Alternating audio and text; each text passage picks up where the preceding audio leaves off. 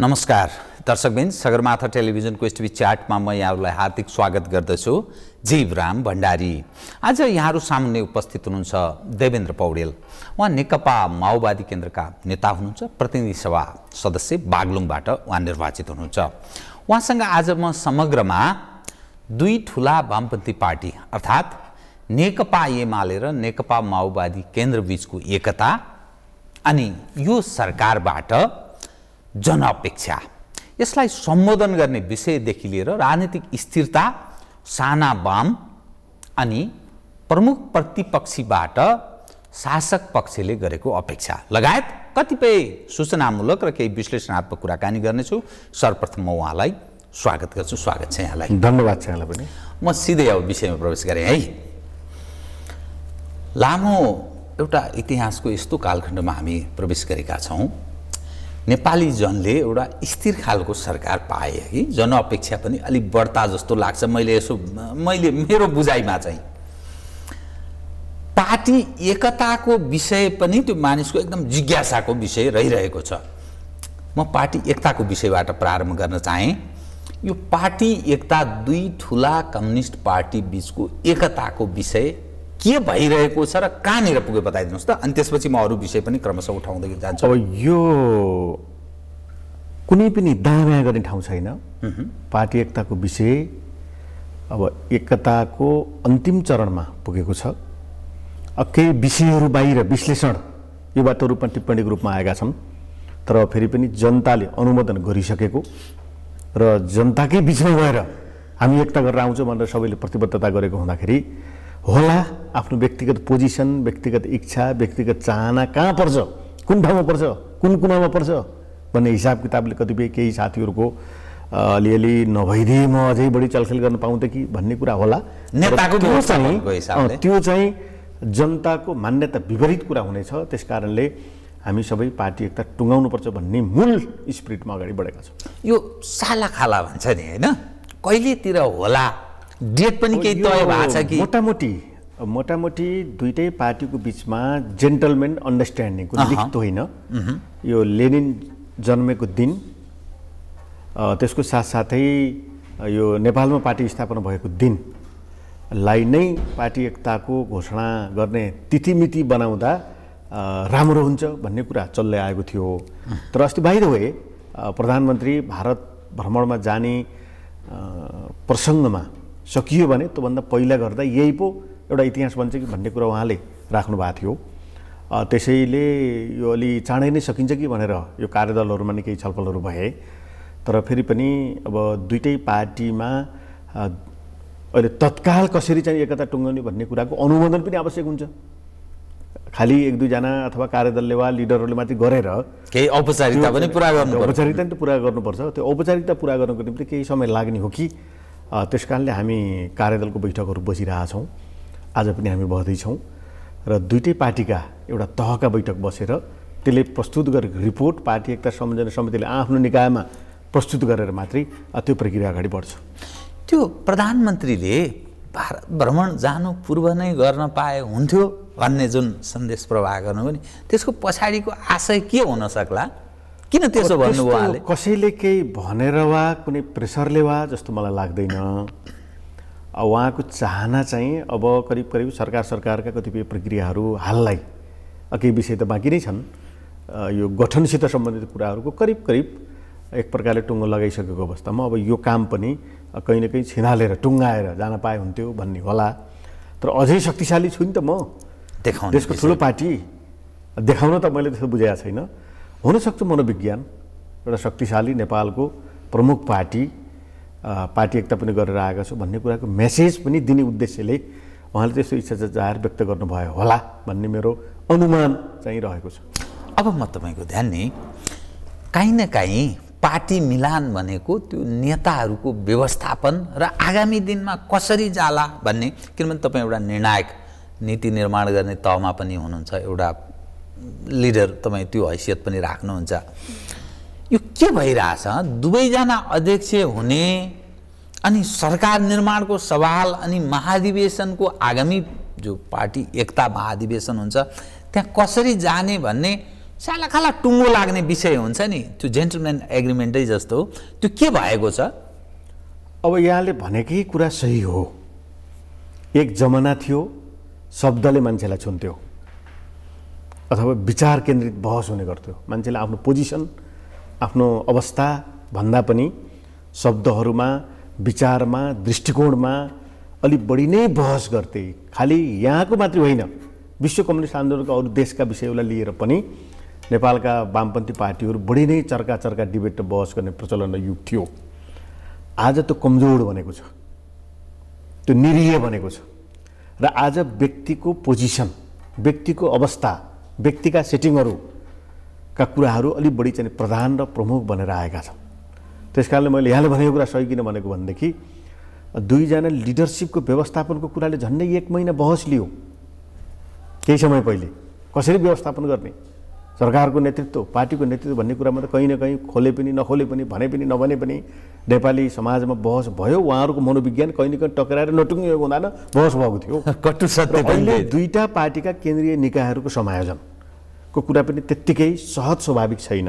यद्यपि यो निर्णय भएर अगाडि बढ्छ तर फेरि पनि यसले कहीँ न कहीँ केही साथीहरूमा असन्तुष्टि केही साथीहरूमा विमति केही साथीहरूमा आफ्नो पोजिसन चाहिँ कहीँ तलमाथि भएको अनुभूति हुनसक्छ त्यस कारणले अधिकतम असन्तुष्टि नहुने गरी दुवैतिरका कमिटीहरूको मिलान र दुवैतिरका विभिन्न तहका नेता कार्यकर्ताको व्यवस्थापनको विषयलाई अलिकति विहङ्गम चाहिँ हाललाई महाधिवेशनसम्म यत्तिको गरे ठिकै गरे पर्खेर बस्नुपर्छ भन्ने हिसाबले लिएर जाने गरी मिलान गर्न सक्नुपर्छ। त्यो विषयले अब कहीँ न कहीँ बहस छलफलको कुराहरूलाई प्रवेश गराएको छ। केही भन्न मिल्छ? यो यो कुरा चाहिँ टुङ्गो लागेको छ भने भनिदिनुहोस् न अब यस्तो विचारको कुरा अब करिब करिब करिब करिब हामीले धेरै नै छलफल गऱ्यौँ। त्यसलाई भाषा भाषी अलिकति त्यसलाई आइरन लगाउन बाँकी छ। र त्यसपछि हामी पार्टी एकता संयोजन समितिमा दिन्छौँ र आफ्नो पार्टीमा छलफल हुन्छ। कसरी चाहिँ हामीले त्यसलाई टुङ्गाउने कोसिस गर्दैछौँ भने विवाद भएका विषय अहिले नल्याउने। जे जे विषयमा दुई पार्टीको बिचमा अन्डरस्ट्यान्डिङ बन्न सक्छ बनेको छ बनिसकेका विषय स्वतः ल्याउने र बन्न सक्ने विषयहरू पनि ल्याउने र अहिले हाललाई त्यो एउटा चाहिँ जग पार्टी एकताको जग हुनेछ वैचारिक आधार। अब बाँकी विषयहरू हामीले हिजो अलग अलग पार्टी हुँदा लिएका विषयहरू कुनै पनि पार्टीले नछोड्ने छोड्ने किन परेर? ती पार्टीकै सम्पत्ति हुन्। ती पार्टीका सम्पत्ति भएको हुँदाखेरि बहसमा लगेर हामीले चाहिँ पछि आम जनताको बिचमा छलफल चलाएर त्यसलाई एउटा प्रक्रियाद्वारा टुङ्गाउने गरी हामीले हल गर्ने प्रयत्न गर्दैछौँ। अब सङ्गठनको विषय पनि दुवैतिरका केन्द्रीय निकायहरूको समायोजन मुख्य भएर आउँछ। त्यसको निम्ति हामीले पदाधिकारीहरू बनाउँदा बढी नै झमेला बिहोर बिहोर्नु पर्ने र समूहको अभिव्यक्ति हुने गरी गरियो भनेदेखि यो झमेलाबाट हाललाई कमसेकम निकास पाइन्छ भन्ने खालले कुरा भएको छ। त्यो भनेको दुईवटा अध्यक्षहरूको कोचियर त्यसलाई नेपाली भाषामा जे भने पनि कोचियरको रूपमा रहनुहुन्छ र आलो पालो उहाँहरूले कमिटीको चाहिँ अ, चेयरम्यानसिप चाहिँ गर्नुहुन्छ। त्यसरी टुङ्गाउने कुरा मोटामोटी अन्डरस्ट्यान्डिङ भएको छ भने स्थायी समिति पोलिट ब्युरो र केन्द्रीय समिति भनेर हामीले एउटा तिन तहको केन्द्रीय निकायमा त्यो प्रणाली बनाउने र त्यसपछि तल प्रारम्भिक कमिटी सेलदेखि स्थानीय तह हुँदै प्रादेशिक तह हुँदै सङ्घीय तह भनौँ न सङ्घीय तहको यो हुनुभयो यो मोडेलमा हामीले अलिकति होमवर्क गरेका छौँ। अब व्यक्ति व्यक्ति को कोलाई कहाँ कहाँ राख्ने भन्ने कुरा टुङ्गो लागेको छैन। अनि यो सरकारको सवालमा के भएको छ नि? किनभने यो त पाँच वर्षका लागि म्यान्डेट प्राप्त छ वाम सरकारलाई जनताले मत त्यसरी दिएको छ। आगामी दिनमा यो विषय पनि जनचासो भएको हुनाले यसको चाहिँ के भार छ भन्ने मानिसको प्रश्न निरन्तर छ। पहिलो शर्त र पहिलो एजेन्डा भनेको जनताले स्थायी सरकारको परिकल्पना सहित झन्डै दुई तिहाईको मान्यता दिएर वामपन्थीलाई जिताएका छन्। व्यक्ति विशेषका राज्यका पदहरूमा जाने चाहनाले जनताको त्यो स्थायी सरकारको परिकल्पनालाई अनुमोदनलाई तलमाथि गर्न मिल्दैन। त्यस कारणले पाँच वर्षको स्थायी सरकार हो।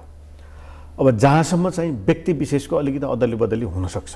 भोलि पार्टीले चाहेको खण्डमा आवश्यकता महसुस गरेको खण्डमा र कामको प्रक्रियालाई अलिकति चाहिँ रोटेसनमा जसरी भलिबल खेल्दाखेरि क्षमता र प्रतिभाहरू चाहिँ रोटेसनमा खेल्छन् कहिलेकाहीँ र अलिकति आफ्नो क्षमता आफ्नो ठाउँमा पुग्दाखेरि जुन समयमा जुन क्षमता भएको व्यक्तिले त्यहाँ चाहिँ जिम्मेवारी प्राप्त गर्छ त्यही बेला व्यक्त गर्ने गरी अलिकति साथीहरूलाई चेन्ज पनि गर्ने कुरा हुनसक्छ। अहिले नै हुँदैन मैले भन्दैन। तर फेरि पनि पाँच वर्षको स्थायी सरकारको प्रत्याभूति नै यो यति बेलाको सरकारको प्रमुख चाहिँ जनताको अनुमोदित कुरा भएको हुँदाखेरि धेरै नै त्यसलाई चाहिँ प्रभाव पार्ने गरी तलमाथि चाहिँ गर्नु हुँदैन। अब म तपाईँको ध्यान नै जनअपेक्षा किनभने नेपालको राजनीतिक इतिहासमा वामपन्थीहरूलाई यति सर्वाधिक यति ठुलो मत प्राप्त भएको सम्भवतः स्पष्ट बहुमत झन्डै झन्डै दुई तिहाई बहुमतको समीपमा प्रवेश गरेको यो पहिलो अवसर। जनअपेक्षा पनि बढी छ। यो जनअपेक्षालाई सम्बोधन गर्नका लागि मानिसले निरन्तर प्रश्न गरिरहन्छन् होला केही होला केही होला? विगतले के देखायो भने पटक पटकको प्रयत्न हातमा लाग्यो सुन्ने। अर्थात् असफलता असफलता असफलताको मात्रै नेपाली जनतालाई हात लागेको छ। त्यो जनअपेक्षालाई सम्बोधन गर्नका लागि तपाईँहरूको यसो कार्यक्रम पनि सुनौ न। के के जनअपेक्षा के जस्तो लाग्छ? कसरी तपाईँहरूले बुझ्नु भएको छ? यो पनि सम्बोधन यो धेरै नै महत्त्वपूर्ण विषय र नेपाली राजनीतिमा सशक्त रूपमा मुखरित भएर उभिएको विषय हो। मेरो आफ्नो अनुभूति पनि एक सय सात वर्ष राणाहरूले शासन गरे र पछिल्लो पचास वर्षपछिको आलोचित थियो।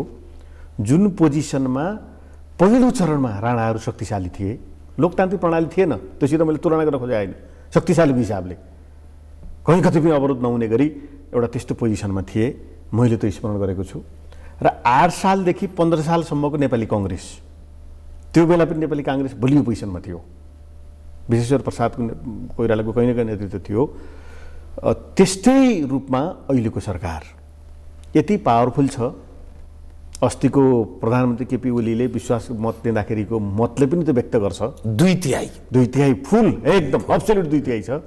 त्यस कारणले केपी ओलीको नेतृत्वको यो सरकार यो प्रक्रिया मिलेन ऊ प्रक्रिया मिलेन यो कर्मचारीले दिएन यो परम्पराले दिएन भनेर अहिले अल्झिने ठाउँ छैन। जनताको बिचमा गरेका प्रतिबद्धताहरू हिजोका बाचाहरू प्रक्रिया मिलेसम्म हिजोको निरन्तरतामा मन्त्रालयका कामहरू क्याबिनेटका कामहरू जनताका डेलिभरीका कामहरू हिजोको निरन्तरतामा खोज्ने होइन कि अहिलेको आवश्यकता जनतामा गरेका प्रतिबद्धताका आधारमा डेलिभरी दिन सक्ने एउटा शक्तिशाली केन्द्रको रूपमा यो सरकार छ त्यस कारणले चुनौती र अवसर चुनौतीको रूपमा यसले त्यो जिम्मेवारी बोध गरेर कार्य सम्पादन गर्न सक्यो भने अरू बिस वर्ष यो पार्टीको नेतृत्वमा देश अगाडि बढ्छ सकेन भनेदेखि जनताले विकल्प खोज्छन् त्यस कारणले त्यस्तो एउटा गम्भीर एउटा दुईवटा चाहिँ तपाईँको दोसाँधको बिचमा महत्त्वपूर्ण एउटा चुनौती जिम्मेवारी वहन गर्ने एउटा अवसरको रूपमा पनि यो सरकार छ। जिम्मेवारीहरू पुरा गर्न सकेन भनेदेखि नेपालको कम्युनिस्ट आन्दोलन नेपालको वामपन्थी आन्दोलन धेरै नै धराशायी हुने एउटा गम्भीर एउटा मोडमा पनि पुग्ने खतरा छ।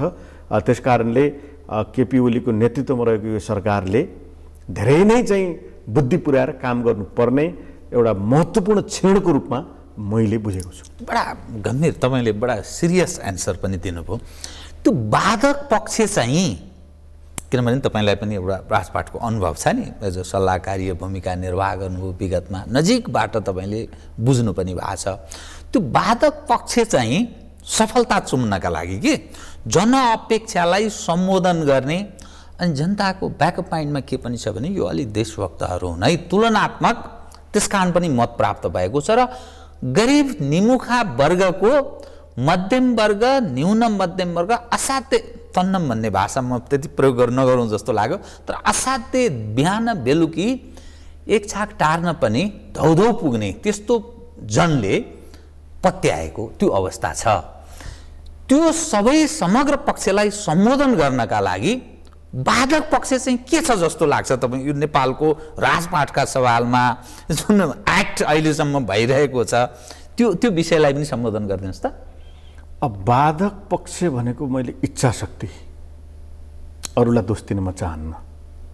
यो मिलेन हजुर यो मिलेन हजुर प्रक्रियाले हुन्न यसले हुन्न यो कानुनले दिन्न भन्ने कुरा आउँछ। आउने गर्छ। पुराना ऐनहरू पुराना प्रचलनका कुराहरू खोजेर ल्याउँदाखेरि त्यो विषय चाहिँ टेबलमा आउने गर्छ। विभिन्न मन्त्रालयहरूमा प्रधानमन्त्रीको सामु पनि प्रक्रियाले मिल्दैन। यसो हुन्छ विषय कोर्टमा जान्छ अनि फेरि स्टे अर्डर हुन्छ। संविधान कानुन विनियम यस्तोमा नै घुम्ने कामहरू नेपालको सरकारले नेपालको राज्य प्रणालीमा स्टेटले चाहिँ बेहोरेको छ। किन विकास भएन त भन्दा त्यही कारणले विकास भएन। किन ढिलो भइरहेछ विकास? अलिअलि भएछ तर ढिलो भएछ। जनताको अपेक्षा पनि बढी यी विषयहरूलाई क्रस गरेर अगाडि बढ्नुपर्छ भन्ने जनताको अपेक्षा छ। त्यस कारण मैले इच्छाशक्ति भन्न खोजेको कुरा के हो भने ठिक ठिक भन्नु। रिक्स मोलेर आफ्नो कार्यकारी पावर जनताको पक्षमा महत्त्वपूर्ण निर्णय गर्ने गरी यो प्रधानमन्त्रीको रूपमा रहनुभएका आदरणीय माननीय केपी ओलीज्यूले निर्णय गर्न सक्नुपर्छ। र त्यो इच्छा शक्तिसहित गइयो भनेदेखि जनता सपोर्टमा आउँछ। भोट हालेको जनताहरू कहीँ कतै अरू साइडमा कसैले चाहिँ असर गर्यो भनेदेखि त्यसको सपोर्टमा आइसकेपछि जनता नै महान हो नि। जनता सपोर्टमा आउँछ भनेदेखि राम्रो काम गरिन्छ भनेदेखि सब कुरा तपसिलो। त्यस कारण मलाई लाग्छ के भनेदेखि यो अन्यथा होला यहाँले इच्छा शक्ति म गरेर देखाउँछु। हामी गरेर देखाउनुपर्छ यही बेला अवसर हो भन्ने कुराको एउटा बोल्डनेस चाहिँ यति बेलाको सरकार समक्ष हुनु जरुरी छ। मैले देखा एउटै मात्रै बाधक भनेको त्यो बडा ठिक। गर या मरको अवस्थामा पो वाम सरकार कि वामपन्थीहरू त्यो अवस्थामा प्रवेश गरेछन्। अब बताइदिनुहोस् त यो पक्ष नि बताइदिनुहोस् त। कथम कदाचित भन्ने मैले भाषा प्रयोग गरेँ। यदि गर्न सकेन भने घटनाले के देखाएको छ भने देखाएको छ भने लामो राजनीतिक एउटा इतिहास बोकेको काङ्ग्रेस पन्ध्र सालमा दुई तिहाई बहुमत छयालिसको परिवर्तनपछि पटक पटक अवसर तर जनको यो अभिगत नेपाल देश यो अवस्थामा प्रवेश गरेको स्थिति मानिसले विकल्पको रूपमा यसलाई चयन गरेको वाम सरकारलाई। काङ्ग्रेस हिजोको दिनमा सालाखाला असफल भएको विकल्पको रूपमा वामको सरकार आएको छ। कथम कदाचित यो पनि असफल भयो भने नेपालको राजनीति कहाँ प्रवेश गर्छ? अब यो एकदमै महत्त्वपूर्ण प्रश्न यहाँले गर्नुभयो र मेरो दिमागमा दुईवटा रिलहरू घुम्छ। कृपया। एउटा दिल्लीको केही समय पहिलेको निर्वाचन र केजरीवालको नेतृत्वको सरकार। त्यो क्षणिक रूपमा आयो टिक्न गाह्रो भयो। अर्को चाहिँ पश्चिम बङ्गालको कम्युनिस्ट पार्टीको सरकार। तिसौँ वर्ष चल्यो। तिस वर्ष चल्यो।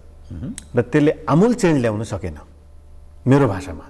कम्युनिस्ट पार्टीको झन्डा देखाएर चाहिँ जनताले मत मागे त्यहाँ लामो समय रह्यो। अन्तभन्दा राम्रो गरेर देखाउन सक्नु पर्थ्यो नि। अन्त राम्रो भएपछि त मान्छेले विकल्प खोज्यो नि त त्यहाँ। समान भइसकेपछि त वा अन्तभन्दा नराम्रो भएपछि त जनताले विकल्प खोज्दो रहेछ। त्यस कारणले त्यो दुईवटा रिल। केजरीवालको नेतृत्वमा रहेको दिल्लीको सरकारको रिल र चाहिँ पश्चिम बङ्गालको कम्युनिस्ट पार्टीको नेतृत्वमा रहेको चिज चाहिँ मैले नजिकको उदाहरण दिन खोजेको घुमिरहेको छ। र यहाँले भने जस्तै अब अहिले साँच्चीकै चाहिँ दोसानमा छ। र म भन्न चाहन्छु कि यो सरकारले प्रक्रियाको खोजी गर्ने होइन। कानुनको परिधि र घेराभित्र बसेर कानुनी राजलाई म मान्छु तर थोत्रा नियमावलीहरूको परिधिभित्र बसेर होइन कि नियम मिलाएर यो काम गर्नु छ यो बाटो बनाउनु छ यो चाहिँ सुरुङ मार्ग बनाउनु छ यो चाहिँ तपाईँको एयरपोर्ट बनाउनु छ। होइन यसको निम्ति के के प्रक्रिया पुग्छ पुँजी कहाँ पुग्दैन लिएर आऊ बनाएर भनेर चाहिँ भुल निर्णय गरेर जान सक्नुपर्छ र मात्रै यो चाहिँ परम्पराभन्दा माथि उठ्न सकिन्छ। यो सरकारलाई जनताले दिएको मत अहिले त्यो मैले एउटा यसैमा थप उदाहरण दिन चाहेँ। पश्चिम बङ्गालमा झन्डै झन्डै तिस वर्ष त्रिपुरामा पच्चिस वर्ष है। त्रिपुराको जो प्रमुख नेता हुनुहुन्छ उहाँको मैले नाम चाहिँ बिर्सेँ। उहाँ श्रद्धेय पनि त्यहाँका भाजपाका हुन् अथवा काङ्ग्रेसका ती सबै गएर खुट्टैमा ढोग्दा रहेछन् त्यति मतलब श्रद्धेय उनी सामान्य घरमा बस्ने त्यहाँका जो प्रमुख नेता पहिले चिफ मिनिस्टर पनि हुनुभयो। तर मानिसले यो प्रतिस्पर्धात्मक राजनीतिमा एउटा समयसम्म पुगेपछि चेन्ज खोज्दो रहेछ कि? तुलनात्मक त्रिपुराको अवस्था त्यति खराब छैन। अन्यत्रको भन्दा राम्रै अवस्थाबाट गुज्रिएको छ। यो प्रतिस्पर्धात्मक राजनीतिमा वाम अर्थात् कम्युनिस्ट हौँ भन्नेहरू एउटा समयमा पुगेर ठक्कर खान्छन् अन्तर्राष्ट्रिय वातावरण ठिक छैन एक्काइसौँ शताब्दीमा बडा अप्ठ्यारो अवस्थाबाट गुज्रिरहेछ। कसरी सर्भाइभ गर्न सकिएला? यो विषय निरन्तर किनभने हाम्रो जस्तो देश त झन् परनिर्भरता त्यो विश्वमा के भइरहेछ त्यसैको आधारमा हो रे होमा चल्ने यस्तो छ कि यो विषयलाई कसरी सोच्नु भएको छ तपाईँहरूले? अब यो पनि एउटा बहसको रूपमा आएको थियो र आउने गर्छ। संसार चाहिँ वामपन्थीमय छैन प्रतिकूल छ। त्यस कारणले नेपालमा वामपन्थीको सरकारले आर्थिक विकास र समृद्धिको नेतृत्व गर्न सक्दैन अन्तर्राष्ट्रिय मान्यता प्राप्त गर्न सक्दैन भन्ने एउटा ठुलो एउटा भ्रम चाहिँ बेला बखत आउने गर्छ। म त्यसको चाहिँ दृढतापूर्वक खण्डन गर्न चाहन्छु। कृपया। किनभनेदेखि त्यो विषय नगरेको सन्दर्भमा उठेको विषय हो। भर्खरै एउटा न्युज मैले हेरेँ यहाँकै टेलिभिजनबाट सार्वजनिक भएको छ। चिन र उत्तर कोरियाका दुईवटा शीर्षस्थ नेताहरूको संयुक्त वार्ता संवाद छलफल कुराकानीहरू चलेको छ। म उत्तर कोरियातिर जान चाहन्न अलि टाढा छ। चिन नजिकै छ। एउटा उदाहरण प्रस्तुत गरेको छ। युरोप र अमेरिका पृथ्वीका सबभन्दा समृद्ध केन्द्र जसलाई स्वर्ग भनेर पनि प्रचारित गर्ने गरियो। एसिया अफ्रिका र ल्याटिन अमेरिका पछाडि परेका देशहरू भनेर आजभोलि बिस्तारै विकासको केन्द्र यता आउँदैछ। चिनिया मोडेल सबैले अनुसरण गर्न खोज्दैछन् होला तोसँग वैचारिक सैद्धान्तिक हाम्रो छलफल बहसका विषयहरू होलान् तर फेरि त्यो एउटा मोडेल भनेर आएको छ। त्यस कारणले त्यहाँको कम्युनिस्ट पार्टी यति धेरै स्थापित छ। अरू पार्टीले लोकतान्त्रिक प्रक्रिया अनुरूप पार्टी खोल्न नपाएर होइन। उठ्नै सक्दैनन्। राम्रो काम गरेर। केही कमी कमजोरी मानवाधिकार आदि इत्यादिका विषयहरू उठे पनि त्यो छ। मैले खालि लामो नहोस् किन जोड्न खोजेको भनेदेखि त्यो विषय चाहिँ सही छैन र काम गर्न सक्नुपर्छ। काम गर्दा बित्तिकै अरूले जनताको बिचमा अनुमोदित भएर आएको पार्टीलाई कहीँ न कहीँ कतैबाट चाहिँ बिगार्छु भनेर सम्भव छैन। हामी स्वतन्त्र छौँ हामी सार्वभौम छौँ। नेपाली जनताले नेपालमा जसले राम्रो काम गर्छ उसैलाई समर्थन गर्छन्। त्यस कारणले अब म पुनः अहिलेकै कुरामा आएँ। यो अन्तर्राष्ट्रिय परिस्थिति देशका कतिपय कारणले चाहिँ कम्युनिस्ट पार्टीले यो चिजको ऊ चिजको नेतृत्व गर्न सक्दैन भन्ने कुरा सही छैन। काम गरेर इच्छा शक्ति प्रकट गरेर देखाउन सक्नुपर्छ। त्यसो गरियो भने अन्तर्राष्ट्रिय समुदायले पनि यसलाई समर्थन गर्छ। हेर्ने चाहिँ पाँच वर्ष अघि छनक चाहिँ एक वर्षभित्रमा सालाखाला सक्छ सक्दैन ठिक बाटोमा जान्छ कि जाँदैन भनेर मान्छेले बुझ्ने छन्। पाँच वर्षसम्म राम्रो गरे ठिकै छ राम्रो नगरे विकल्प मानिसले खोज्छन्। ठिकै जवाब दिनुभयो तपाईँले। अनि यो देशमा नि विकल्पको कुरा र तपाईँहरू जुन पथमा हिँडिरहनु भएको छ यो बडा गलत मार्ग हो। गयो संसद दलदलमा भाषियो स्वाहा नै भयो भन्ने दृष्टिकोण राख्ने तपाईँका साथीभाइहरू कम्युनिस्ट हौँ भन्नेहरू परिवर्तनकामी हौँ भन्नेहरू हिजो सहयात्रा गरेर हिँडेका भन्नेहरू। अनि यही संसदीय फाँटमै चुनावमा भाग पनि लिने तर यसरी चाहिँ जानु हुँदैन भन्नेहरू पनि छन् कि? यी विकल्पको कुरा गरेर बसेका छन्। त्यसलाई चाहिँ के भन्ने? तिनका बारेमा तपाईँहरू के सोचिरहनु भएको छ?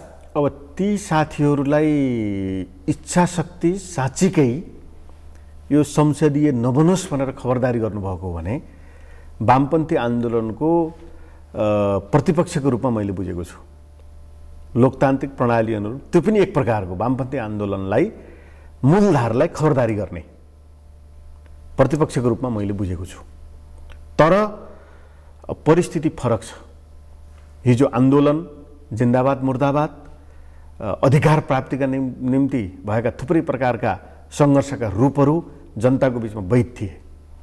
र आज मान्छेले न्यूनतम भए पनि वाक स्वतन्त्रता न्यूनतम भए पनि मानवाधिकार न्यूनतम भए पनि आफ्ना विषयहरू सार्वजनिक गरेर प्रस्तुत गर्ने अधिकार र संविधानमा नेपाली विशेषताको उपस्थितिको अधिकार जनताले प्राप्त गरेका छन्। त्यो केही होइन भन्ने चिज चाहिँ अलिकति दृष्टिदोष हो। त्यस कारणले केही पनि जिन्दगीभरि लड्ने प्राप्त गरेका उपलब्धिहरू पनि नदेख्ने किसानले धान लगाउने भगारीमा चाहिँ लगेर धान राखिसकेपछि कहिले काहीँ कमी होला दुई मुरी तिन मुरी पाँच मुरीमा तलमाथि होला तर फेरि पनि केही पनि होइन केही पनि फलाएको छैन भनेर सोच्ने कुरा गलत हो। र मुख्य चाहिँ प्रश्न भनेको अधिकार प्राप्तिको निम्ति हामीले हिजो आन्दोलन गऱ्यौँ। अब विकास समृद्धि र सुशासन हो। र त्यो विकास समृद्धि र सुशासनको अबको चित्र बाटो यो हो भन्ने कुरामा ती साथीहरू यहाँले भन्नुभएका साथीहरूले आँखा खोलेर एकपटक चाहिँ गमेर समीक्षा गरेर अबको बाटो फेरि चाहिँ तपाईँको विद्रोहको बाटो कसका विरुद्ध विद्रोह? अबको बाटो फेरि आन्दोलनको बाटो सशस्त्र सङ्घर्षको बाटो कसका विरुद्ध सशस्त्र सङ्घर्ष? भन्ने कुरा चाहिँ समीक्षा गर्न जरुरी छ। त्यसबाट गन्तव्यमा पुग्न सकिँदैन। अर्थात् त्यो विकल्प होइन भन्ने तपाईँको विकल्प होइन बरु चाहिँ आफ्ना विषय सहित चाहिँ यही मूलधारमा नै साथीहरू फर्केर नेपालको वामपन्थी आन्दोलनलाई बृहत रूपमा चाहिँ छलफल चलाएर नेपाली विशेषताको चाहिँ समाजवाद समाजवादमा पुर्याउनुको निम्ति अगाडि बढ्न म अपिल पनि गर्न चाहन्छु। उनीहरूसँग केही कुराकानी भएको प्रयत्न गरेको नमानेको या प्रयास जारी रहने के। स्थिति। पुराना साथीहरू भएको हुँदाखेरि बाई द वे हिँड्दा डुल्दा भेट्दा फोनमा कुराकानीहरू हुन्छ। तर यहाँले सुरुमै भन्ने जस्तै उहाँले पनि हामीलाई भन्ने गर्नुहुन्छ तपाईँहरू कतै चाहिँ अब यो संसदीय प्रणालीमै चाहिँ जानुभएको हो कि हामीले त सोचिराखेका छौँ भन्ने कुरो उहाँले गर्नुहुन्छ। हामीले पनि उहाँहरूलाई त्यही गर्छौँ। हिजो चाहिँ एउटा एक प्रकारको चरण थियो एउटा अवस्था थियो। त्यो अवस्थामा हामीले गरेका आन्दोलनहरू वैध थिए। आज परिस्थिति फरक भएको छ त्यसो भएर तपाईँहरूले पनि समीक्षा गर्नुहोस् भनेर हामीले भनेका छौँ। अब सम्भवतः केही साना पार्टीहरू साना ठुला नभनौँ एउटा यो बृहत चाहिँ वामपन्थी ध्रुवीकरण एउटै पार्टी नेपालका वामपन्थी समाजवादी कम्युनिस्ट भन्नेहरूको कति प्रतिशत कम्युनिस्ट छन् भन्ने कुरो पछि समीक्षा होला तर फेरि पनि नाम त छैन त। नाम छ जनसमर्थन छ अलिकति त्यसप्रतिको शाब्दिक चाहिँ प्रतिबद्धता छ। तर अब त्यो प्रणालीभित्र नै एउटा घरभित्र कहीँ न कहीँ चाहिँ सकिन्छ। पार्टी एकता सकिन भने एउटा मोर्चा नभए त्यो प्रक्रियाभित्र आएर कमसेकम नेपालका वामपन्थीहरूले यसरी चाहिँ काम गर्न थाले भन्ने कुराको प्रत्याभूति दिनको निम्ति उहाँहरू पनि त्यो प्रक्रियामा आउनु जरुरी छ। म यो कुरा पनि अपिल गर्न चाहन्छु। एज एउटा देवेन्द्र पौडेल परिवर्तनकामी है कि? सुखी नेपाली समृद्ध नेपाल र एउटा साँचो मानेमा नेपाल एउटा सार्वभौम सत्ता सम्पन्न देश त्यस देशका जनता भन्न जुन कल्पनाका साथ परिवर्तनका खातिर तपाईँ होमिनुभयो। तपाईँ जुन ठाउँमा अहिले आइपुग्नु भएको छ नि तपाईँको ड्रिम यही ठाउँ थियो कि अथवा अलिकति बाटो अलिक बाङ्गो टिङ्गो मैले देखेको सपनाभन्दा अलिक फरक ठाउँमा पो आइपुग्यो कि जस्तो के सोच्नु भएको छ तपाईँले? क तपाईँलाई के लाग्छ? यो अहिले जुन ठाउँमा तपाईँ आइपुग्नु भएको छ नि कस्तो लाग्छ? हिजो देखेको सपना र आज पुगेको ठाउँ कस्तो छ? एकदम भावनात्मक कुरा यहाँले गर्नुभयो। मलाई खुसी पनि लाग्यो। मैले म विद्यार्थी कालमा तत्कालीन स्नातकोत्तर पढ्दै गर्दा एउटा विषय सकेर अर्को विषय पढ्दै गर्दा ग्रामीण वर्ग सङ्घर्ष जनताको आन्दोलन भनेर म लाग्यो हो कहिलेकाहीँ बिचा यताउता ट्र्याक तलमाथि भयो होला। जुन उदात्त इच्छा शक्ति चाहना सहित देश बनाउने देशमा आमूल परिवर्तन ल्याउने र जनतालाई सुख र समृद्धिको बाटोमा लिएर जाने सपना थियो र त्यो सपनाको निम्ति जीवन समेत उत्सर्ग गर्नुपर्छ। हामी जस्ताले भन्ने जुन प्रकारको उदात्त भावना सहित थियो त्यो जिगज्याग भएको मलाई महसुस छ। त्यो अलिकति चाहिँ एउटा गीत छ नि सोचे जस्तो हुन्न जीवन सम्झे जस्तो हुन्न जीवन भन्ने चाहिँ कलाकारले गाउनुभएको गीत जस्तै त्यो नहुँदो रहेछ बाङ्गो टेढो भएरै अगाडि बढ्नु पर्दो रहेछ उकाली ओह्राली अप्ठ्यारो जटिलताहरू हुँदै अगाडि बढ बढ्नुपर्ने हुँदो रहेछ तैपनि कतिपय साथीहरू हराउनु भयो किनभने परिस्थिति अनुसार चल्न नसक्दाखेरि र सिधा सिधै बुझ्दाखेरि बुझेअनुसार सोचेअनुसार नहुँदाखेरि असन्तुष्टि पैदा हुँदो रहेछ। तर फेरि पनि परिस्थितिलाई चाहिँ पचाउन सक्ने परिस्थितिलाई बुझ्न सक्ने मान्छेहरू टिक्दा रहेछन्। मैले आफूलाई चाहिँ त्यही अर्थमा परिस्थितिलाई बुझ्ने परिस्थितिलाई बोध गर्ने र निरन्तर टिक्ने अर्थमा मैले बुझेको छु। अब म तपाईँको ध्यान नै अब कुरा गर्दा गर्दै घन्टौँ कुरा गर्न रमाइलो पनि हुन्छ विषय धेरै पनि छन् सम्बोधन गर्नुपर्ने। नेपालको राजनीतिक इतिहासमा यो एउटा डेमोक्रेटिक सिस्टम लोकतान्त्रिक लोकतान्त्रिक भन्नुहुन्छ कि तपाईँहरूले परिवर्तन वास्तवमा साँचो मानेमा नेपालको राजनीति जुन ठाउँमा प्रवेश गरेको छ यो कम्प्लिट जस तपाईँहरूलाई जानुपर्ने कि तर तपाईँहरूले जुन परिवर्तनको यात्रा आरम्भ गर्नुभयो as a Nepal communist party माओवादी त्यसका आगाबिगा कोही नेपाल कम्युनिस्ट पार्टी भए कोही अझै के भन्दै हुनुहुन्छ मोहन वैद्यजी तपाईँहरू नेपाल कम्युनिस्ट पार्टी माओवादी केन्द्र भनेर भन्नुहुन्छ। जोसँग तपाईँहरूको लडाइँ थियो हिजोका दिनमा अघि जसलाई तपाईँहरू एक ढङ्गले अलग ढङ्गले हेर्नुहुन्थ्यो म त्यो छिचरा कुरा गर्न पनि चाहन्न अहिले। त्यहीसँग तपाईँहरू पार्टी एकता गर्न लाग्नुभयो एक। अनि जुन अपोजिसनमा छ काङ्ग्रेस बडा निरीह अवस्थाबाट गुज्रेको जस्तो उनीहरू आफै एकदम समस्याबाट गुज्रिरहेछन्। साँचो मानेमा प्रतिपक्षको पनि भूमिका निर्वाह गर्न सक्छन् सक्दैन जस्तो सरकार जे गरिरहेछ त्यसको राम्ररी मोनिटरिङ गरेर त्यो आलोचना त्यो ढङ्गले अलिकति सुझाव पनि प्रस्तुत गर्न नसके जस्तो देखिन्छ। काङ्ग्रेसको अहिलेको अवस्था हेर्दा आफ्नै रन्नभुल्लोमा जस्तो देखिन्छ। यो विचार सैद्धान्तिक कुरा वैचारिक कुरा निरन्तर प्रश्नको रूपमा रहिरहन्छ के? जब सिद्धान्त वाद विचार आदर्श यी सब परित्याग हुन्छ त्यस्तो राजनीतिक पार्टी दल अनि त्यसले शासन चलाउने त्यो विषय बन्न सक्ला र त्यसबाट कस्तो शासन चल्ला? अनि कुन धरातलमा उभिएर राजपाठ गरे भन्ने प्रश्न निरन्तर रहिरहन्छ कि? यो काहीँ न काहीँ सिद्धान्तसँग पनि जोडिएको विषय मानिसहरूले गरिरहने प्रश्न पनि भयो। पत्रकार अलिक नकारात्मक विषय उठाउँछ यो भन्ने पनि पर्ला। तर यो विषयलाई चाहिँ कसरी हेर्नुहुन्छ तपाईँ? अब यो पुसमा घाम लागेको बेलामा कोही व्यक्तिले सडकमा छाता ओढेर हिँड्यो भने प्रश्न गर्छ किन ओढ्यो होला? घामको तापले त न्यानो हुन्छ नि। पानी पनि आएको छैन। तर त्यही कुरा असारमा पानी आएको बेलामा छाता ओढेर हिँड्यो भने शोभनीय हुन्छ। मैले यो प्रसङ्ग किन जोडेको भने हिजो राजतन्त्रको अन्त गर्नु थियो गणतन्त्र ल्याउनु थियो। सङ्घीयता ल्याउनु थियो। त्यसको निम्ति विद्रोहको राजनीति गर्नु थियो। त्यो नगरेको भएदेखि हुँदैन थियो र। शब्दमा हामी तिखारियौँ बन्दुकमा हामी तिखारियौँ सशस्त्र फौजी चाहिँ प्रणालीद्वारा टिकेको राज्य सत्तालाई कहीँ कहीँ बल प्रयोगद्वारा पनि त्यसलाई चाहिँ अन्त गर्नको निम्ति त्यो कार्यनीतिर पनि लिनुपर्छ भनेर हामी तिखारियौँ त्यस बेला अहिलेका हाम्रा मित्र शक्ति हामी जो पार्टी एकता गर्दैछौँ उहाँहरूसँग पनि हाम्रो छलफल चलेकै हो। अब अहिले परिस्थिति फेरिएको छ। यहाँले प्रतिपक्षको कुरा नै गर्नुभयो म जोड्दैछु। कृपया। र हिजो शाब्दिक रूपमा आलोचना गरे त्यो लाइनमा कम्युनिस्ट वृत्तबाटै यो लाइन बेठिक छ उग्र वामपन्थी छ भन्नेहरूसित हामीले बहस गऱ्यौँ कि त्यो बहस नगरेको भए त्यहाँ गइने नै थिएन। त्यहाँ नगएको भए गणतन्त्र आउने थिएन। त्यसको स्वामित्व हामीले पुरै लिन सकेनौँ। त्यो अर्को समीक्षा टुटफुट विभाजन। होइन जे गर्नु पर्थ्यो त्यो नगरेर जे नगर्ने हो त्यो भनेर। माओवादी आन्दोलन चाहिँ कमजोर भयो यो पछिल्लो उसमा। जनताले समर्थन नगरेर होइन। सरकारमा जाने विद्रोहको कुरा गर्ने। त्यहाँ डेलिभरी पो दिन सक्नु पर्थ्यो त। त्यहाँ कमजोर भएको म यो धेरै कुरा भन्न चाहन्न त्यो अर्को प्रसङ्ग समीक्षा गरौँला। तर अब अहिले प्रतिपक्षको जो यहाँले प्रश्न उठाउनु भयो हिजो तिखा शब्द राखेर आलोचना गर्नेहरू हामीले किन चाहिँ सँगै सहकारी गर्ने र पार्टी एकता गर्ने ठाउँमा पुग्यौँ भनेदेखि परिस्थिति चेन्ज भएको छ। जमाना फेरिएको छ। युगै फेरियो त म भन्दिनँ जमाना फेरिएको छ।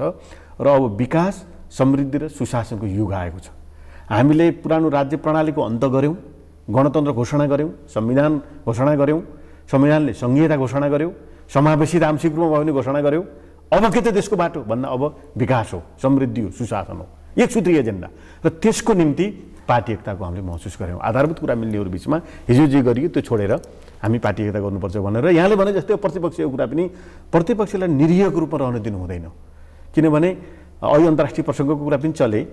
र हामी नेपालमा वामपन्थीहरू सरकारमा रहे भने त्यस्तो चाहिँ अनुभवी प्रतिपक्ष नेपाली काङ्ग्रेस भएर आउनुपर्छ र खबरदारी गरिरहनुपर्छ। र प्रतिपक्षलाई डिमोरलाइज गर्ने काम चाहिँ गर्नुहुन्न।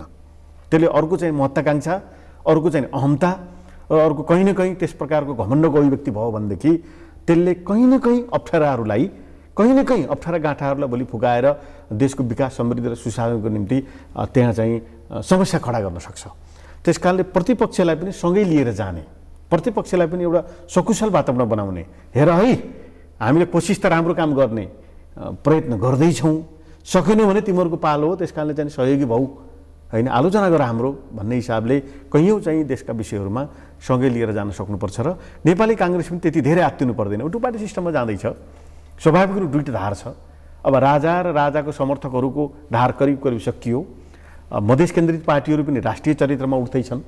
त्यस कारणले एउटा लेफ्ट बेसको पार्टी एउटा चाहिँ त्यसको एन्टीमा रहेको चाहिँ डेमोक्रेट भन्छन् भन्नुहुन्छ उहाँहरूले। त्यो बेसको पार्टी। त्यस कारणले सरकारमा मतको तलमाथि हुनसक्छ। दुईवटा धार त नेपालमा छँदैछ नि त। त्यस कारणले त्यो वामपन्थीहरूले वामपन्थी पृष्ठभूमिहरूलाई चाहिँ अझै ध्रुवीकरण गरेर एउटा केन्द्रमा ल्याउनुपर्छ। नेपाली काङ्ग्रेसले अरू छरिएकाहरू चाहिँ आफ्नो विचार मिल्नेहरूलाई चाहिँ केन्द्रीकरण गरेर लिएर आउँदाखेरि प्रतिपक्ष त्यस्तो आत्तिनुपर्ने अलिअलि आत्तिएको हताशा भएको मिटिङका कुरा सुन्दाखेरि? सुनिएको छ किन बर्बाद हुने? हामी त त्यस्तै थियौँ। पहिलो चाहिँ संविधान सभामा सबभन्दा ठुलो पार्टी उहाँहरू दुईवटा तिनटै पार्टी चाहिँ जोड्दाखेरि पनि हामी जतिको नभएका पार्टीहरू अब हामी बिस्तारै तङ्ग्रिँदै आयौँ भने नेपाली काङ्ग्रेस पनि चाहिँ त्यस्तो तङ आत्तिनुपर्ने केही पनि कारण छैन।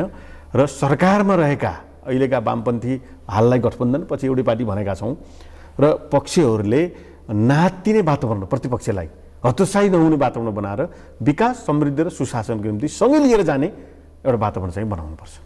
विगतले के देखाएको छ भने बाँडचुँड गरेर काङ्ग्रेस र वामपन्थी तागत कि चाहे त्यो माओवादी केन्द्र हो चाहे एमाले होस् बाँडचुँड गर्ने भागभन्डा गर्ने खाने। यस्तो लामो समय चल्यो। आलोचकहरूले पनि बारम्बार यो विषय आलोचनाका रूपमा उठाइरहे। दुई दलीय सिस्टमतर्फ देश उन्मुख भएको अहिले त्यही भन्दैछन्। र निरङ्कुशता एक ढङ्गले देखिँदा डेमोक्रेट डेमोक्रेसी जस्तो देखिने। तर दलीय निरङ्कुशता दुई दलीय निरङ्कुशतामा देश प्रवेश गर्न सक्छ है। त्यस कारणले अरू थप सचेत हुनुपर्ने अवस्था छ भनेर भनिन्छ। विगतले पनि त्यो कुरालाई काहीँ न काहीँ अलिक ढाडस दिएको हो है भन्ने अर्थ लगाइरहेछन् कि यो विषयलाई के गर्ने? अब यो विषयलाई पनि माइती घर छ नि हाम्रो।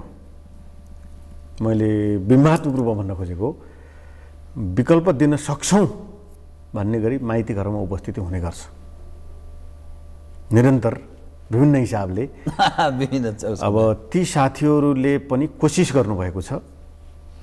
यी दुई दलीय प्रणाली भनेर ठ्याक्कै दुई दलीय प्रणाली अमेरिकामा जस्तो आइसकेका त छैन। तर फेरि त्यो दिशातिर उन्मुख छ। र त्यो दिशातिर उन्मुख हुने सन्दर्भमा अब दुइटै दलले गर्न सकेनन्। योभन्दा तेस्रो विकल्प जानुपर्छ भन्ने हिसाबले सोच्ने साथीहरूलाई पनि प्रतिस्पर्धा गरेर आउने आलोचना गर्ने त्यो प्रकारको अवसर चाहिँ दिनुपर्छ किनभने लोकतन्त्रमा हामी आइसकेपछि कुनै खास समूह विशेषको चाहिँ हेजेबनित्व होइन अधिनायकत्व अर्को भाषामा भन्दाखेरि त्यो चाहिँ लागू गर्न दिनु हुँदैन। अब रुलिङमा चाहिँ कडा हुनुपर्छ। जनताका अधिकारको अभिव्यक्तिमा चाहिँ स्वतन्त्रता छोडिदिनुपर्छ पुरै। कामहरू विकासका कामहरू जनताका कामहरू डेलिभरीका कामहरूमा त अलिकति चाहिँ अलिकति चाहिँ कमान्ड कन्ट्रोल भएन भने उही चाहिँ नियम परिधिभित्र चाहिँ घेरिरह्यौँ। आलोचना विरोधले चाहिँ केही पनि गर्न नसक्ने भइयो भनेदेखि त गर्न सकिँदैन। तर चाहिँ मान्छेले अभिव्यक्त गर्ने स्वतन्त्रता उपस्थित गर्ने स्वतन्त्रता विरोध गर्ने स्वतन्त्रता र अलिकति राष्ट्रिय राजनीतिमा उनीहरूको भूमिकालाई पनि कहीँ न कहीँ जोडेर सम्मानजनक रूपमा लिएर जाने स्वतन्त्रता फेरि चाहिँ अझ बढी चाहिँ यो वामपन्थी सरकार पार्टी एकता कुरा चल्दैछ। यसले बढी त्यो प्रस्तुत गर्न सक्नुपर्छ र अन्तर्राष्ट्रिय समुदायमा यो नोकरसाही होइन है लोकतान्त्रिक नै छ। यो चेन्ज भएको छ यो बदलिएको छ। पछिल्लो परिस्थिति अनुरूप भन्ने कुराको प्रत्याभूति अहिलेको सरकार र यो पार्टी एकता गर्न लागेका दुईवटा पार्टीले दिन जरुरी छ। विश्वलाई पनि एउटा सन्देश सक्छ है। अब म तपाईँको ध्यान दुईवटा विषयमा केन्द्रित रहेर कार्यक्रम अन्त्य गर्छु है। कार्यक्रमको अन्तिमतिर आएमा एक यी जो मानिसहरू अहिले शासन सत्तामा छन् अर्थात् प्रधानमन्त्री मन्त्री भएका छन् यी बारम्बारका परीक्षण भइसकेका मानिसहरू हुन्। के आधारमा यिनले नेपाली जन र नेपाल देशलाई राम्रो सम्बोधन गर्छ भनेर आश गर्ने एक नम्बर दुई पहिले यसको सम्बोधन गरौँ त्यसपछि अर्को प्रश्न म प्रधानमन्त्रीको भारत भ्रमण एउटा सम्मुखमा हामी छौँ कि? भनिएको छ सरकारले भनेको छैन तर उताबाट घोषणा भइसक्यो यहाँ चाहिँ लुका लुकाइ छन् किन हो थाहा भएन। त्यो विषय पनि म प्रश्न उठाउँछु कि यो परीक्षणबाट देखिएका यी तस्विरहरू के आधारमा चाहिँ हामीले आश गर्ने यो चाहिँ बताइदिनुहोस् न। यही प्रश्न चाहिँ ज्वलन्त प्रश्न छ जनताको बिचमा। यो ढिलो भयो कामको डेलिभरीको अध्यायको सुरुवातीकरण अलिकति चाहिँ कमजोर जस्तो देखा पर्यो। तपाईँलाई पनि त्यस्तो लाग्छ कि लाग्दैन? एकदम लाग्छ मलाई लागिरहेको छ। जस्तो चाहिँ फिल्म प्रश्न गर्नु परेन कहिले काहीँ चाहिँ त्यो फिल्म हेरेर जाँदाखेरि एउटा मुकुण्डबाट आएर मान्छे चाहिँ भिडिराखेका हुन्छ तर त्यो मुकुण्ड च्यातियो भनेदेखि चाहिँ उही हुन्छ। त्यस्तो नहोस्। जिम्मा लिनुभएका साथीहरूलाई म आलोचना गर्न चाहन्न। र उही अनुहार उही शैली भयो भने जनताले नयाँपनको महसुस गर्न पाउँदैन। जनताको मत त्यो होइन। जनताको मत काम गर भन्ने हो। जनताको मत नयाँ हिसाबले सोच भन्ने हो। त्यस कारणले त्यो मतको सम्बोधन इमान्दारितापूर्वक गर्न सक्नुपर्छ। ठिक छ? अनुहारको रिपिटेसन भएको छ। होइन? त्यसलाई चाहिँ म दोष दिन चाहन्न तर कामले कामले चाहिँ अलिकति फरक प्रकारको स्वाद ग्रहण गर्ने गरी जनताले फरक स्वाद उही अचार दिनदिनै बिस वर्षदेखि उही अचार खाएको छ भने अचारको स्वाद फरक हुनु पऱ्यो र मान्छेले टेस्टको अनुभूति गर्छ। त्यस कारणले राज्यमा जनताले दिएको यो मत र यो पछि बोलेका कुराहरूको अभिव्यक्ति फरक प्रकारको स्वादको अचार खाए जस्तै जनताले ग्रहण गर्नु पऱ्यो महसुस गर्नु पऱ्यो त्यो चाहिँ अलिकति यो अनुहारहरूको निरन्तरताले केही समस्या पैदा गर्ने हो कि भन्ने यहाँको प्रश्नलाई मैले समर्थन गर्छु। यो कहिलेसम्म चाहिँ मानिसले यसो कुर्ने कि? अब होला कि होला कि होला कि? कुर्ने टाइम छैन अब। कुर्ने टाइम किन छैन भनेदेखि अब बजेट प्रस्तुत हुने र सरकारको नीति कार्यक्रम सार्वजनिक गर्ने समयावधिसम्म जनताले कुर्नुपर्छ किनभने त्यो एउटा प्रक्रिया पनि हो तयारी गर्नुपर्छ र त्यसपछि कुर्ने होइन। त्यसपछि चाहिँ एकपछि दुई दुईपछि तिन गर्दै कामको रिजल्ट हेर्ने जनताको अपेक्षालाई सम्बोधन गर्न सक्नुपर्छ। तपाईँले जति विषय भन्नुभयो नि मैले विमति राख्ने कुनै ठाउँ नै छैन कि? बडा तपाईँ साँच्चै जनताको एउटा प्रतिनिधिको रूपमा तपाईँले बोलिदिनु भयो अब म कार्यक्रमको अन्तिममा एकदम छोटकरीमा बताइदिनुहोस्। प्रधानमन्त्रीजी भारत जाँदै हुनुहुन्छ रे। आएको आम सञ्चार माध्यममा आएको यहाँको परराष्ट्रले नि हो हो कहिले हो थाहा छैन भन्छ। प्रधानमन्त्रीका नजिकका दायाँ बायाँका मानिसहरू हो तर टुङ्गो छैन। अर्थात् त्यही घोष भनिएकै समयमा हुन सक्ला अथवा एक दुई दिन तलमाथि होला भनेर भन्छन् है। प्रधानमन्त्रीका सवालमा प्रधानमन्त्रीमाथि एक खाले आक्षेप पनि लगाउँछ नि अर्का खाले मानिसहरू। भारत भ्रमणमा जाँदै हुनुहुन्छ। के विषयमा अलिकति सावधानी अप्नाउने कुन विषयलाई सम्बोधन गर्ने र नेपाली जनले राखेको अपेक्षा चाहिँ के उहाँबाट? के हो जस्तो लाग्छ? अब प्रधानमन्त्रीको दुई वर्ष पहिलेको परिचय फरक थियो। अब हामी त एउटै पार्टी पनि हुँदैछौँ। अब त्यो परिचयले कुटनीतिक सन्तुलन हाम्रो गुम्या हो। मैले व्यक्तिगत रूपमा उहाँलाई दोष दिन खोजेको होइन। ठिक। अब दक्षिणतिरको सम्बन्धभन्दा उत्तरतिरको सम्बन्धलाई सुधार गरेर नेपालको विकास ल्याउन सकिन्छ भन्ने एउटा भाव चाहिँ उहाँले दिनुभयो। हो हिजोका दिनमा हिजोका दिनमा।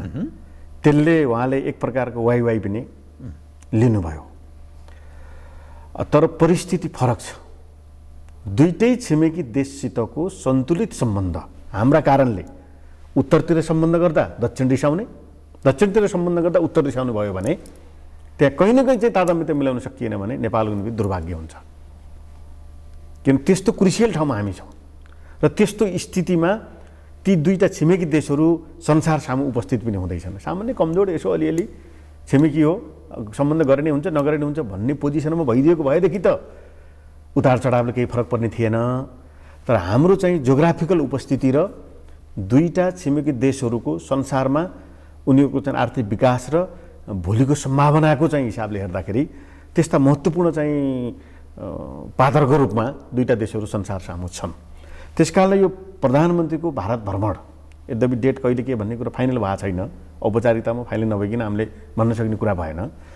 भारतसितको चाहिँ सम्बन्ध दुईवटा आयामले एउटा विगत उन्नाइस सय पचास पैँसठीका असमान सन्धि अस्तिको नागाबन्दी भारतले होइन भन्छ हामी नेपालीहरूमा हो भन्ने पर्यो। यो छैन त कहीँ न कहीँ। त्यो एउटा च्याप्टर त्यसको ब्याज पनि त खानु हो नि ओलीजीले त्यसको चाहिँ च्याप्टरको कसरी चाहिँ कुटनीतिक प्रकारद्वारा अलिअलि विगतका चाहिँ काला घाउहरू कहीँ न कहीँ हामी हेपिएका छौँ भन्ने कुरा हेपिएका छैनौँ र तिमीहरू स्वतन्त्र छौ भन्ने कुराको प्रत्याभूति भारतीय पक्षबाट नेपाली जनताले ग्रहण गर्ने गरी टेबुलीकरण चाहिँ कसरी गर्नुहुन्छ भन्ने कुरा एउटा चाहिँ पृष्ठभूमिको हिसाबले त्यो चुनौती छ। त्यो उहाँले कहीँ न कहीँ सम्बोधन गर्न सक्नुपर्छ। दोस्रो चाहिँ अबको एक्काइसौँ शताब्दीमा भारतसँगको फरक प्रकारको कुटनीतिक रिलेसन सम्बन्ध अप्नाएर चाहिँ संसार सामु साझा एजेन्डा लिएर हामी कसरी प्रस्तुत हुने त्यो चाहिँ हाम्रा साझा एजेन्डा भारत र नेपालका बिचमा व्यक्त हुने साझा एजेन्डाहरूका कारणले उत्तरी छिमेकी देशलाई पनि कहीँ पनि चिसो नपसोस्। उसले पनि ठिकै हो। उहाँहरूले चाहिँ अप्नाएका कुराहरूमा हाम्रो कहीँ कतै पनि विमति छैन। हामी पनि चाहिँ सहयोग गर्न तयार छौँ भन्ने प्रकारको यो चाहिँ ट्रेङ्गुलर होइन यो ट्रेङ्गुलर प्रकारको चाहिँ सम्बन्ध कायम गरेर मात्रै नेपालको हित हुन्छ। र अहिले शक्तिशाली प्रधानमन्त्री भएको हैसियतले यो भूमिका अत्यन्तै फुकेर कला पुर्याएर र अत्यन्तै चाहिँ कुटनीतिक क्षेत्रका संसारभरिका अनुभवहरूलाई लिएर आएर यो जियो पोलिटिकल नेपालको जुन चित्र छ भौगोलिक हिसाबले पनि पोलिटिकल हिसाबले पनि जुन प्रकारको अवस्था छ त्यो प्रकारको अवस्थालाई आधार मानेर प्रधानमन्त्रीले भारतमा गएर कुनै पनि सके राम्रो गर्ने र नसके सकिएन अप्ठ्यारो पऱ्यो भने टिप्पणी गर्ने योग्य काम नगरेर खालि सम्बन्ध सुधार मात्रै गरेर आउनुभयो भने राम्रो हुन्छ। नत्र फेरि बिग्रिन सक्छ। यसमा थप प्रति प्रश्न गर्न सकिन्थ्यो तर समयले साथ दिएन। फेरि पछि अब प्रधानमन्त्रीको भ्रमणकै अब उहाँले सार्वजनिक गर्नुभएको छैन एजेन्डा के राख्नुहुन्छ थाहा छैन। अब भनिएको तिथि अनुसार त दस एघार दिनपछि उहाँ जाँदै हुनुहुन्छ। अब यहाँ डिस्कस पनि छैन कुनै छलफलको विषय पनि भएको छैन। त भोलिका दिनमा के गर्नु होला? तपाईँले विविध विषयलाई आज मेरा जिज्ञासाहरू एज अ पिपुलका जिज्ञासालाई म मार्फत मैले उठान गरेँ। सम्बोधन गरिदिने प्रयत्न गर्नुभयो। कार्यक्रममा आइदिनु धन्यवाद छ है। धन्यवाद छ। यहाँले पनि केही विषयहरू राख्ने अवसर दिनुभएकोमा। यहाँ र यो टेलिभिजन परिवारप्रति हार्दिक आभार प्रकट गर्छु। धन्यवाद। आदरणीय दर्शकवृन्द उहाँ हुन्थ्यो देवेन्द्र पौडेल नेकपा माओवादी केन्द्रका नेता तथा प्रतिनिधि सभा सदस्य। पछिल्लो राजनीतिक दृश्य उप विश्लेषणात्मक कुराकानी गर्दै लगायत मेरो सम्पूर्ण युनिटलाई कार्यक्रमबाट बिदा दिनु। सगरमाथा। नमस्कार।